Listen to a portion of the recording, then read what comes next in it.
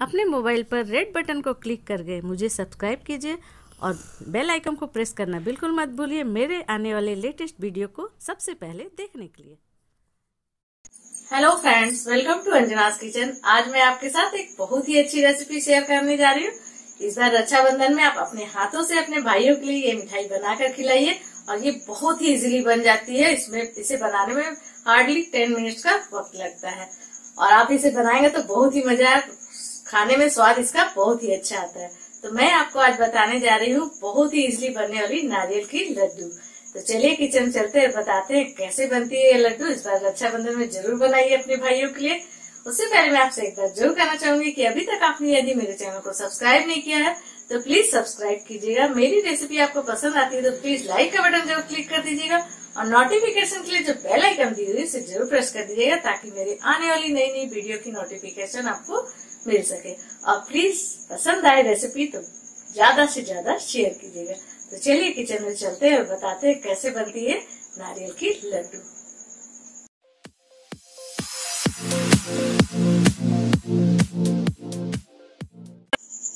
तो देखिए, ये हमारी कोकोनट लड्डू बनकर रेडी हो गई है। तो आप भी इसे बनाना चाहते हैं ना, बहुत इजी रेसिपी है, ज़रूर बनाइए। आपके घर में यदि कोई त्योहार हो या कोई पार्टी हो तो आप उसमें बनाकर इसे सर्व कर सकते हैं। बहुत जल्दी बनती है, इसे ज़रूर बनाइए। देखिए, मैंने इस पर पिस्ते लगाए हैं। इसकी खूबसूरती बढ़ाने के लिए ये बिल्कुल ऑप्शनल है। यदि आप चाहें तो नहीं भी लगा सकते, लेकिन ये टेस्ट वैसे ही बहुत ही अच्छी आई है इसकी। तो ये लड्डू यदि आप बनाना चाहते हैं तो मेरी रेसिपी को स्टार्टिंग से लेकर एंड तक ज़रूर फॉलो कीजिएगा ताकि कुछ टिप्स और ट्रिक्स है इस तरह के लड्डू बनाने के लिए, जिसे फॉलो करके आप भी इस तरह का लड्डू बहुत ही इजीली बना सकते हैं। तो चलिए मैं आपको दिखा देती हूँ किस तरह से ये नारियल के लड्डू मैंने बनाए हैं।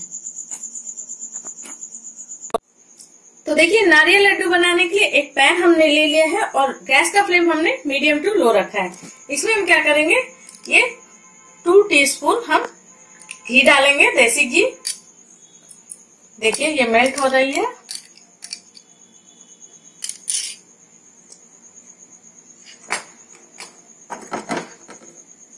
दो कप हमने नारियल का बुरादा, यानी कि पाउडर कोकोनट हमने लिया है। ये बाज़ार में आपको इजीली मिल जाती है। आप चाहे तो कच्चे नारियल का भी यूज़ कर सकते हैं, लेकिन ये बहुत ही क्विक रेसिपी मैं आपको बता रही हूँ। तो आप किसी भी त्योहार में इसे ट्राई कीजिए, बनाइए, बहुत जल्दी बनती है। आपके घर में कोई गेस्ट आए, तभी भी आप बनाकर या पार्टी हो बर्थडे हो, किसी में भी आप इसे ट्राई कर सकते हैं। कोई त्योहार में भी फटाफट इसे आप बना सकते हैं। तो ये दो कप हमने नारियल का पाउडर लिया है। घी हमारी मेल्ट हो गई है, इसमें डाल देंगे हम ये पाउडर गैस का फ्लेम हमें बिल्कुल मीडियम टू लो ही रखना है, और इसे हम थोड़ा सा इस तरह से भून लेते हैं। इसे लगातार चलाते हुए हमें भूनना है। थोड़ा सा इसे हम भून लेते हैं। तो देखिए, थोड़ा सा हमने इसे भून लिया है। कम से कम एक मिनट। इसे हमने हल्का सा लगातार चलाते हुए मीडियम टू लो फ्लेम पर भून लिया है। आप देख सकते हैं, हल्का सा इसका कलर चेंज हो गया है। तो अब हम क्या करेंगे, इसमें हम डाल देंगे ये हाफ़ कप मिल्क। दूध डाल देंगे और इसे दूध के साथ इस तरह से मिक्स कर लेते हैं।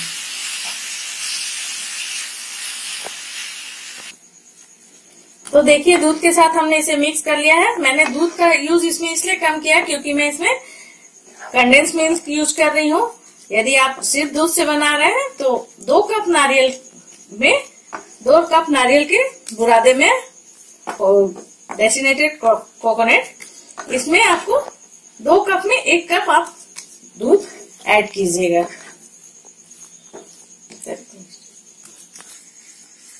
तो देखिए, दूध के साथ दूध हमारा सूख चुका है। अब हम क्या करेंगे? इसमें हाफ़ कप ये पीसी हुई चीनी मैं यूज़ कर रही हूँ, हाफ़ कप। और मैं चीनी का भी कम यूज़ कर रही क्योंकि कंडेंस मिल्क में ऑलरेडी चीनी रहती है, वो मीठा रहता है, इसलिए मैं चीनी का कम यूज़ कर रही हूँ। तो हाफ़ कप मैंने पाउडर शुगर डाला। आप चाहे तो नॉर्मल शुगर भी डाल सकते हैं। डाल देते हैं। और इसे अच्छी तरह से हम इस तरह से मिक्स कर लेते हैं।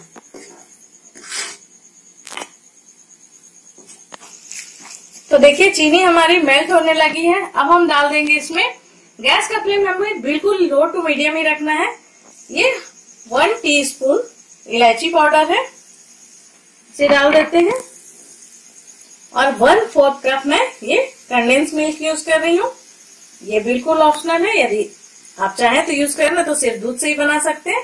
लेकिन इसे डालने से नारियल के लड्डू का स्वाद बहुत ही बढ़ जाता है।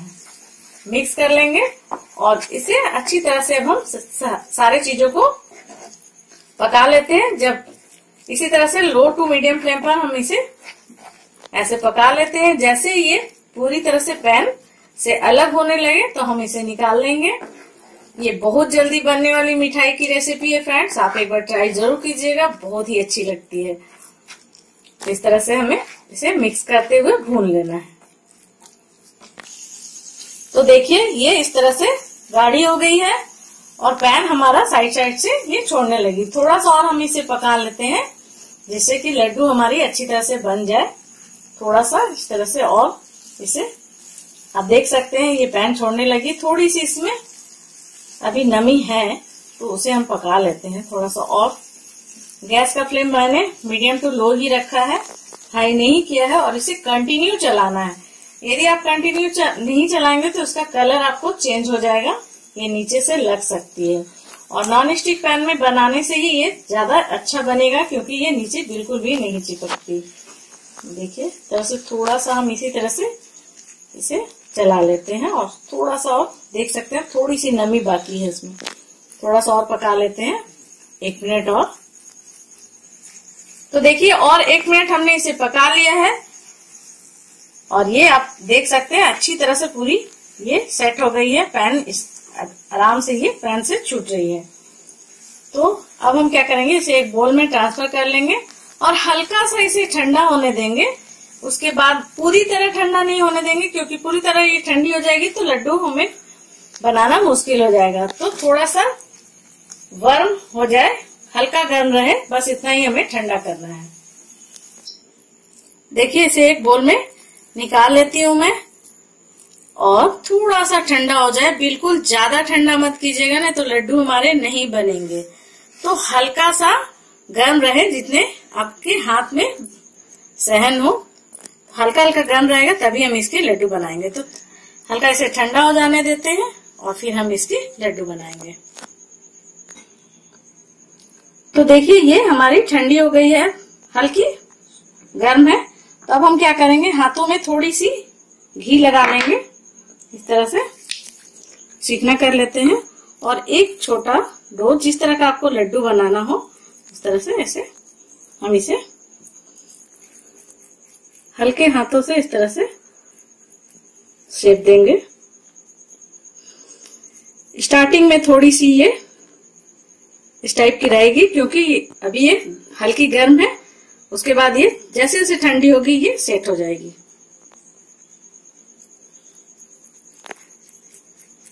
करेंगे इसे। ये जो ड्राई कोकोनट हमने लिया है, इसमें हम इसे देखिए, इस तरह से हम इस पर थोड़ी थोड़ी ये ड्राई कोकोनट इस तरह से लगा देंगे। वाओ, देख सकते हैं फ्रेंड्स, कितनी अच्छी बनकर हमारी ये लड्डू रेडी हो गई है। थोड़ा सा सेट होने में ये टाइम लगेगा, अभी थोड़ी सी ये इस टाइप की रहेगी। देखिए, इस तरह से बनाकर हम रख लेते हैं। तो देखिए, इसी तरह से हम सारे लड्डू को बना लेंगे। इस तरह से थोड़ा सा प्रेस कीजिए। हल्का गर्म है अभी, ये। पहले हल्के हाथों से, दोनों हथेलियों के बीच में इस तरह से करेंगे। फिर इसे इस तरह से हाथों में थोड़ी सी घी लगा लीजिए। आपको जिस साइज़ के लड्डू बनाने, बना सकते हैं। हम ड्राई कोकोनट इस पर। आप नहीं भी लगाएँगे तो भी ये खाने में स्वाद अच्छा ही होगा, लेकिन ये थोड़ी सी ड्राई कोकोनट लगा देने से इसकी खूबसूरती में चार चाँद लग जाते हैं, बहुत ही अच्छी लगती है। तो देखिए, इस तरह से हम सारे लड्डुओं को बनाकर इस तरह से रेडी कर लेते हैं। तो देखिए, इस तरह से हमने बहुत ही इजीली नारियल के लड्डू बना लिए हैं और दो कप नारियल पाउडर में हमारा 21 लड्डू बनकर रेडी हुआ है। आप यदि और छोटे साइज़ का बनाएँगे तो और छोटा भी बन सकता है। ये थोड़ी सी ठंडी और हो जाए तो सेट हो जाएगी। इसे आप फ्रिज में यदि रख देंगे तो ये हार्ड हो जाएगी। तो फ्रिज में मत रखिएगा बाहर रख के आप चार से पाँच दिन आराम से खा सकते हैं, ये खराब नहीं होगी। तो आप भी इसे बनाइए ट्राई कीजिए और अपनी फीडबैक ज़रूर दीजिएगा। इस तरह से आप चाहें तो इसकी खूबसूरती बढ़ाने के लिए ऐसे एक एक पिस्ता इसके ऊपर इस तरह से सजा सकते हैं। आप देख सकते हैं कितनी खूबसूरत लग रही है। लेकिन ये बिल्कुल ऑप्शनल है। ये सिर्फ़ सजावट के लिए है। मुझे वीडियो बनाना है, इसलिए मैं सजा रही हूँ। आप ऐसे भी इसे सर्व कर सकते हैं।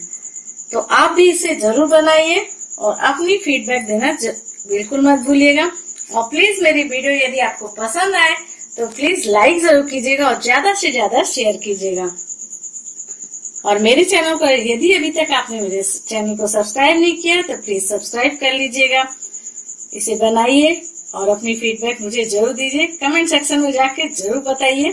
आपके कमेंट के जवाब देने में मुझे बहुत ही अच्छा लगता है। तो चलिए, इसे बनाइए। तो थैंक यू मेरे वीडियो को देखने के लिए।